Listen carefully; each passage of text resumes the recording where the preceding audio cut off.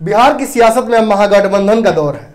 गठबंधन हो रहे हैं दोनों तरफ़। एक तरफ़ जहाँ महागठबंधन का निर्माण कर रहे तेजस्वी यादव, वहीं दूसरी तरफ़ नीतीश कुमार सेफ़ हैं, क्योंकि वो एनडीए में है। मगर क्या एनडीए सेफ़ है? एनडीए खुद ऐसी नाव हो गई है जो कभी भी डूब सकती है। और इस नाव से कूदने वाले चूहे तो कम से कम यही कह रहे हैं। अब बात करते हैं महागठबंधन की। इस महागठबंधन में पाँच प्रकार के पाँच मेवे हैं। मगर इस पाँच मेवों के बावजूद इस महागठबंधन का जायका अभी तक बिहार की जनता को नसीब नहीं हुआ है। ना कोई समीकरण सामने है, ना कोई सियासत।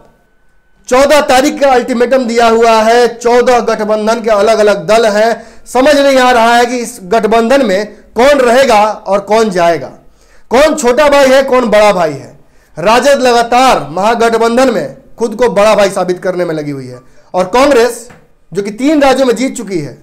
और जीत के उत्साह में कहीं ना कहीं कांग्रेस ने खुद को बड़ा भाई मान लिया है। अब मान लेने से क्या होता है? मान लेने पे कोई थोड़ी प्रधानमंत्री हो जाएगा।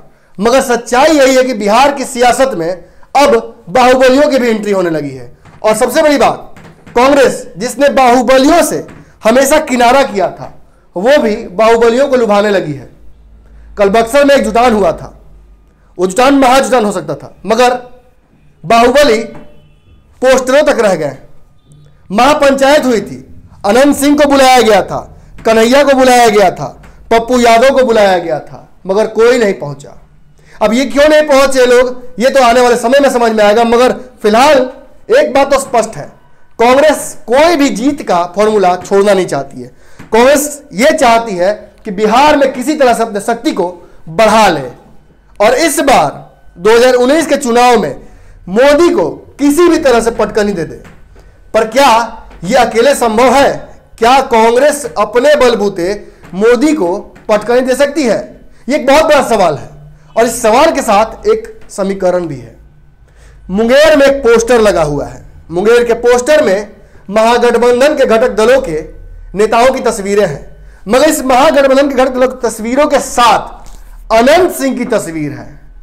अनंत सिंह वही हैं जिन्हें बैड एलिमेंट कहा था तेजस्वी यादव ने और कहा था कि इनकी महागठबंधन में नो एंट्री होगी, मगर कांग्रेस ने तो टिकट तक दे दिया है। कांग्रेस ने महापंचायत में बुलाया भी है।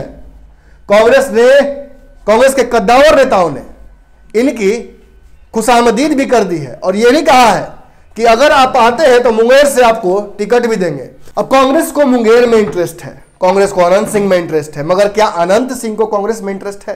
तो जी हाँ बिल्कुल, अनंत सिंह को कांग्रेस में इंटरेस्ट है। अनंत सिंह कहते हैं कि कांग्रेस एक राष्ट्रीय पार्टी है, और मुंगेर से लड़ेंगे, राष्ट्रीय पार्टी के चिन्ह पे लड़ेंगे।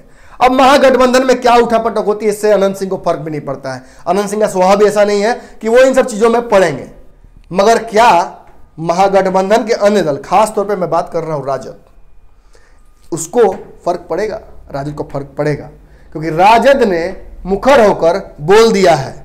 नो बैड एलिमेंट रिक्वायर्ड इसके बाद, जब मुंगेर में गठबंधन के दल जब कोई पोस्टर लगाते हैं और उसमें अनंत सिंह दिखते हैं, जब बक्सर में अनंत सिंह की तस्वीर लगाती है कांग्रेस तो उससे असर पड़ता है।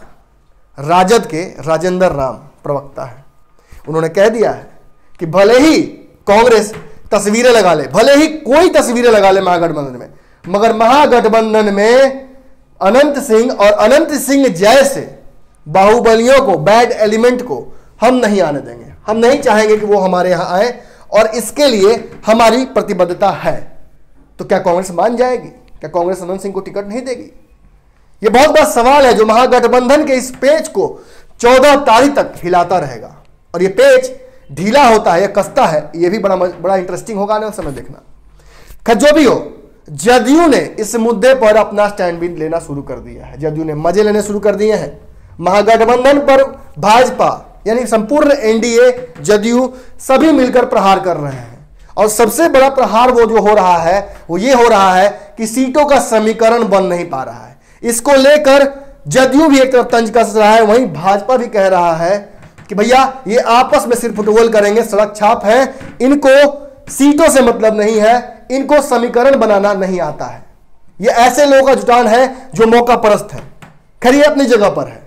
अब जदयू के प्रवक्ता नीरज कुमार, वो कह वो भी लड़ाई में कूद गए हैं महागठबंधन की।